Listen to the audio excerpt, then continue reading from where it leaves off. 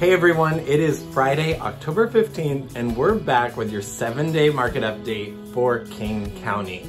Let's jump right into the last seven days and what has happened.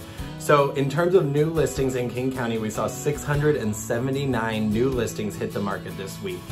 Pending listings, we saw 961 go pending. And in terms of sold, we saw 773 sold listings in King County. Now, these numbers are a little bit different because before this, we were actually pulling the entire Northwest Multiple Listing Service, which is the multiple listing service or MLS that we use. So now we are focused just on King County. The trends are going to be very similar, but we are narrowing in on just King County.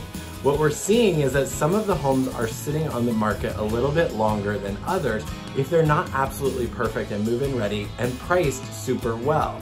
Now, other homes we are seeing that are really nice, move-in ready, priced very well, and they are still getting multiple offers. They're sometimes even getting as many as 15 offers or seven offers. So the market is still very competitive, but what we're seeing is that there is a slight slowdown in those homes that are not super ready to go or move-in ready.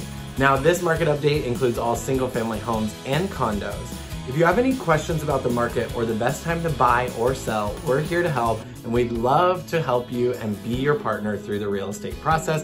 Don't hesitate to reach out. You can call, text, or direct message us and we're more than happy to help you.